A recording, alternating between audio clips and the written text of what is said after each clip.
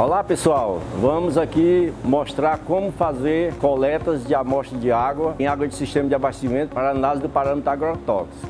Nós vamos demonstrar as técnicas corretas para realizar essas coletas.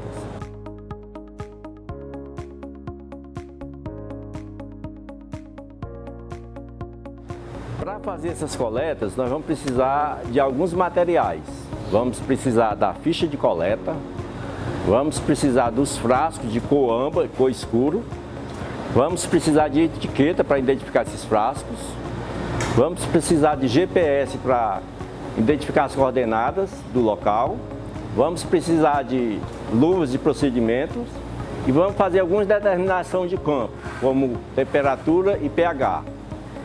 E em seguida vamos armazenar esses frascos na caixa térmica para manter sobre refrigeração até chegar ao laboratório. Sou Sérgio Murilo, fui capacitado pela CETESB para fazer essas coletas de água em agrotóxico.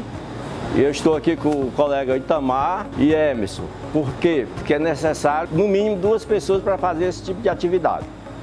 Agora, pessoal, vamos dar início ao passo a passo de como realizar uma coleta de maneira correta. Nós vamos identificar o endereço completo do ponto de coleta, nome da rua, número e, se possível, identificar as coordenadas geográficas e fotografar o local da coleta.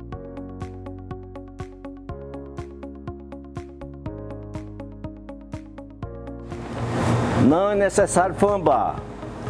Caso haja indício de contaminação externa, a desinfecção da torneira deverá ser feita com gás estéreo, embebida em álcool ou solução de hipoclorito.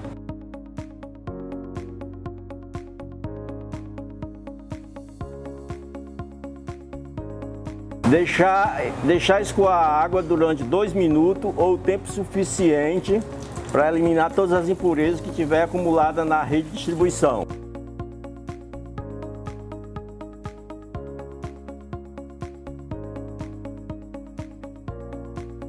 Voltar o volante da torneira para que o fluxo da água seja pequeno e não haja respingo.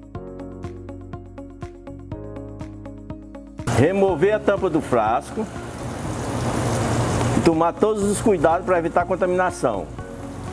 Segurar o frasco na vertical e efetuar o enchimento deixando um espaço de 2 centímetros da borda para facilitar no momento da, da análise.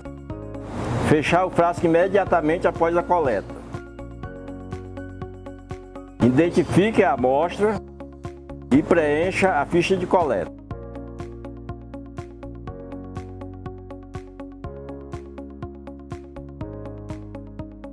Acomode a amostra na caixa térmica e em seguida, se possível, lacrar a caixa. As amostras devem ser acondicionadas em caixa térmica com bateria de gelo, até a chegada ao laboratório. Após o acondicionamento, o prazo de validade para realizar as análises são de 7 dias, mas o ideal é que seja realizado nas primeiras 24 horas. Após as coletas, a gente vai concluir com as determinações de campo. Podemos medir o pH da água e medir também a pelo menos a temperatura da água. Agora que vocês já viram as técnicas de coleta, como coletar, como acondicionar, como fazer as anotações, como fazer as determinações de campo, agora vamos fazer a entrega do laboratório com segurança.